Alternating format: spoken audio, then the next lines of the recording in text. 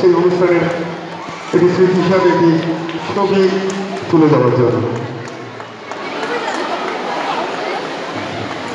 আমাদের সাথে ছিল প্রেরণা।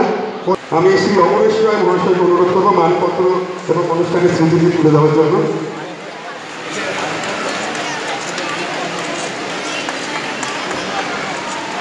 আমি মঞ্চে এবার যাকে ডাকতে চলেছি তার নাম